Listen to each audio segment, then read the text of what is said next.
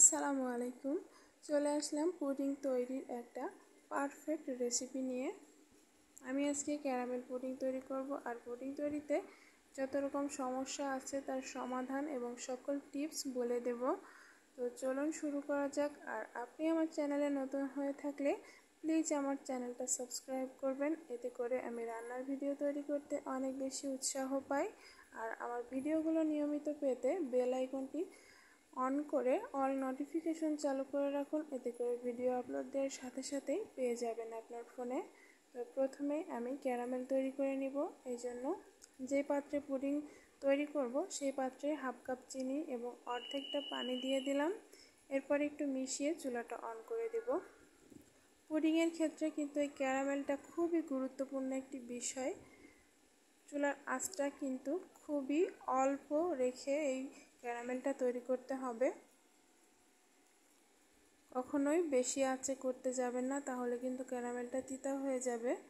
আর তিতা হয়ে গেলে পুরো পুডিংটাই কিন্তু খাওয়া যাবে না, পুরো দুধ, ডিম সবই নষ্ট হয়ে যাবে। যখনই এরকম একটু লালচে কালার চলে আসবে, তখনই চুলাটা অফ করে দিচ্ছি। চুলাটা অফ করে দেওয়ার পরেও কিন্তু আরও একটু কালার হয়ে যায়। তো একটু চারপাশ দিয়ে ছাড়িয়ে দিলাম। এর থেকে বেশি কালার কখনোই করতে যাবেন না, তাহলে কিন্তু তিতা হয়ে যাবে আর পুডিংটা খাওয়া যাবে না। তো এটা সব থেকে গুরুত্বপূর্ণ একটা বিষয় পুডিং তৈরির ক্ষেত্রে। অনেকেই পুডিং তৈরি করে আর খেতে পারেন না। এই ভুলটার কারণে তো কিছুক্ষণ রেখে দেওয়ার পর আমার এই ক্যারামেলটা অনেক সুন্দরভাবে সেট হয়ে গেছে। এখন চলে যাব পুডিং তৈরির মিক্সচারটা রেডি করতে। এই জন্য একটা বাটিতে আমি দুইটা ডিম ভেঙে নিয়েছি। এরপর ডিমটা ভালোভাবে ফেটে নিতে হবে। এরপর এখানে ওয়ান থার্ড কাপ পরিমাণ চিনি দিয়ে দিচ্ছি। চিনিটা ডিমের সঙ্গে খুব ভালোভাবে মিশিয়ে নিতে হবে। আপনারা এ পর্যায়ে ভ্যানিলা এসেন্সটা মিশিয়ে নেবেন। আমি ভুলে গিয়েছিলাম এই জন্য পরে অ্যাড করে দেব। ভালোভাবে ডিমের সাথে চিনিটা মিশে গেলে এখানে অল্প অল্প করে দুধ দিয়ে দিতে হবে।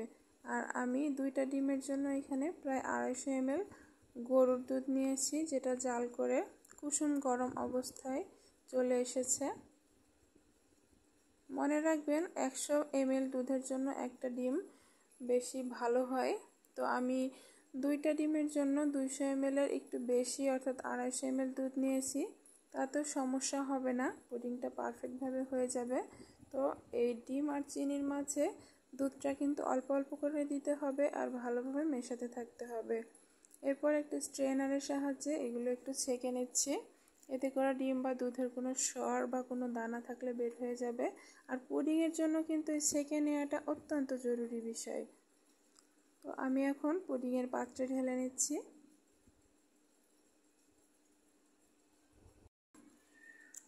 এখন খুব সামান্য পরিমাণ ভ্যানিলা এসেন্স দিয়ে দিচ্ছি। আগে বলেছি যে আমি ভুলে গিয়েছিলাম, এই জন্য এইখানে আমি এসেন্সটা দিয়ে দিচ্ছি। আপনাদের হাতের কাছে ভ্যানিলা এসেন্স না থাকলে সামান্য এলাচের গুঁড়া দিতে পারেন। তবে ভ্যানিলা এসেন্স দেওয়াটাই সব থেকে বেশি ভালো হয়। তো একটু ঝাঁকিয়ে মিশিয়ে নিলে কিন্তু হয়ে যাবে, কোনো সমস্যা নেই। আর চুলায় একটা কড়াই বসিয়ে এখানে একটু পানি দিয়ে স্ট্যান্ড বসিয়ে গরম করতে দিয়েছি। এখনও বলক আসেনি, তবে আমি বাটিটা দিয়ে ঢাকনা দিয়ে দিচ্ছি। পানিতে বলক চলে আসার পর চুলার আঁচটা একেবারে লোতে দিয়ে দিব। আর ঢাকনার ছিদ্রটাও আমি বন্ধ করে দিলাম যাতে করে কোনো বাষ্প বের হতে না পারে। তো বলক চলে আসার পর চুলাটা আমি একেবারে আস্তে করে দিয়েছি। এইভাবে আমার পুরো ২০ মিনিটে পুডিংটা হয়ে গিয়েছে। আমি ২০ মিনিট পর আপনাদেরকে খুলে দেখিয়ে দিচ্ছি। তবে আপনাদের পুডিংয়ের উপকরণ যদি বেশি হয় বা পরিমাণ বেশি হয়, সেক্ষেত্রে সময় একটু বেশি লাগতে পারে। এটা খুব সাবধানে করতে হবে, কারণ এখনও চুলাটা অফ করেছিলাম না। তো ঢাকনাটা উঠিয়ে দেখিয়ে দিচ্ছি একটা কাঠির সাহায্যে। দেখলেই অবশ্য বোঝা যায় যে পুডিংটা হয়ে গেছে, কারণ সাইড দিয়ে শুকিয়ে আসে। আর কাঠিটা দেখেন কত সুন্দরভাবে ঢুকে যাচ্ছে আর কোনো পানি বা কোনো দুধ কাঠির সাথে আসছে না। তো পুডিংটা আমি নামিয়ে রুম টেম্পারেচারে পুরোপুরি ঠান্ডা করে নিব। আপনারা চাইলে ফ্রিজে তিন থেকে চার ঘণ্টা রেখে তারপরে সার্ভ করে নিতে পারেন। আমি পুডিংটা ঠান্ডা খাব না, আমার ছোট বাচ্চা খাবে, এই জন্য আমি পুডিংটা রুম টেম্পারেচারে থাকা অবস্থাতেই পরিবেশন করে নিচ্ছি। আর আমি স্প্যাচুলার সাহায্যে চারপাশটা ছড়িয়ে নিলাম। এরপর একটা প্লেটের উপরে ঢেলে নিচ্ছি। তো এই ঢালার সময় একটা দুর্ঘটনা ঘটে যায় আমার পুডিংয়ের উপর দিয়ে। সেজন্য মাঝখান দিয়ে একটা ফাটল দেখতে পাচ্ছেন। এটার কারণ একটু পরেই আমি বলে দিচ্ছি। আমার পুডিংটা কিন্তু অনেক সুন্দর হয়েছে খেতে। আর এই ফাটার কারণ আমি এখনই দেখিয়ে দিচ্ছি। এই তো আমি ঢালার সময় পুডিংটা ভাজ হয়ে গিয়েছিল।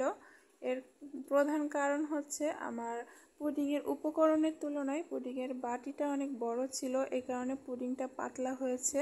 তো এই ভুলটা আপনারা অবশ্যই বুঝতে পারছেন কেন হয়েছে। তো আমি পুডিংটা কেটে দেখিয়ে দিচ্ছি।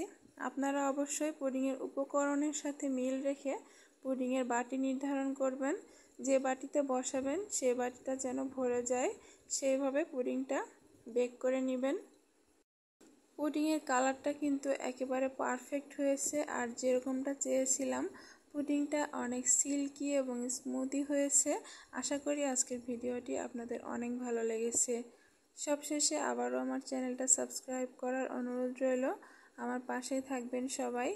দেখতেই পাচ্ছেন পুডিংটা কত সুন্দর হয়েছে।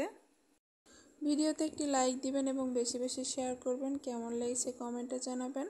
আল্লাহ হাফেজ।